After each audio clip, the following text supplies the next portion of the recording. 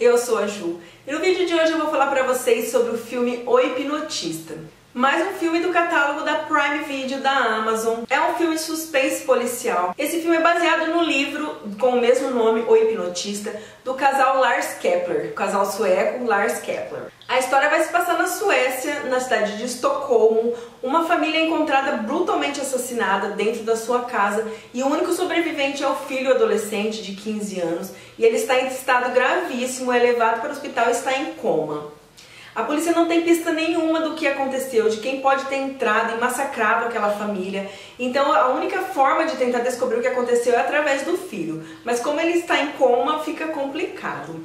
Até que uma das médicas do hospital entra em contato com um antigo colega, um médico que também é hipnotista, pedindo encarecidamente se ele podia dar uma força nesse caso, já que é a única forma de descobrir alguma coisa. Só que algum tempo atrás ele acabou prejudicando um caso, coisas sérias aconteceram por causa de uma de suas hipnoses, então ele está meio que proibido de fazer hipnose em qualquer pessoa. Após esse momento ele acaba recebendo uma ameaça, uma ameaça terrível que vai abalar com a sua família, de que se ele voltar a fazer hipnose ele vai sofrer as consequências. Só que como não tem outra forma, ele vai desobedecer essa chantagem que ele não sabe de onde vem e vai fazer essa hipnose. Ele vai acabar descobrindo pistas do que pode ter acontecido com essa família e vai dar uma reviravolta muito grande aqui dentro da história. A trama em si desse filme é muito boa, mas eu não gostei de jeito nenhum da execução do, do filme. O livro é excelente, eu já li, eu gostei muito, li alguns anos atrás, mas eu me lembro que eu gostei muito.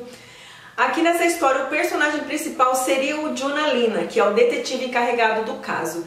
Mas no filme eles fizeram o hipnotista ser o mais importante. Ele tem uma importância grande, o próprio título é dele. Mas o Jonah Lina, que é o personagem que dá nome à série dos livros do casal Lars Kepler, ele fica muito apagado, ele ficou até meio abobado, não sei, não sei explicar. Mas ele é um personagem super inteligente, intuitivo, e aqui no filme não mostrou nada disso.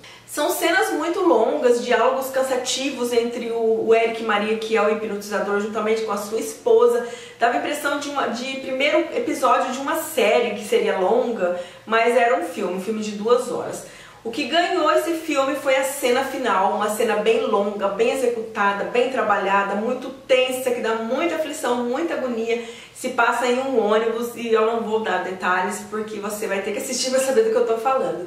Enfim, o filme é bom, como eu disse, a trama é boa, mas eu não gostei muito da execução. Eu achei que encheram muito linguiça e deram importância a coisas que não precisaria e deixaram de dar importância a, a, a fatos principais e personagens importantes também. De qualquer forma, eu deixo a dica aqui pra vocês. Não é um filme ruim, vale a pena assistir, mas não espere assim o melhor filme do ano. O livro é muito melhor. Se você tem intenção de conhecer a história, eu recomendo que você leia o livro para depois assistir o filme. Beleza?